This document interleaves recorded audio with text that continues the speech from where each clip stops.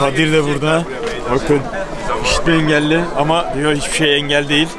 Mis gibi koşacak. Onu gördüğünüz zaman bir daha sonraki yarışlarda el işaretiyle haber verin. Yanında konuşunca duymuyor. Ee, buraya geldim. Ee, 36 e, koşacağım kilometre olarak. Şu anda konuşmaktan zorlanıyorum çünkü ben yanı olduğum için. Ee, heyecanla bekliyorum yani yarışacağım yarışı. İnşallah yani sağlıklı şekilde bitireyim de Burada e, yer e, engelli arkadaşlarıma testten yürümek istiyorum. Bedenli engelli olur, işitme engelli olur, her şey olur.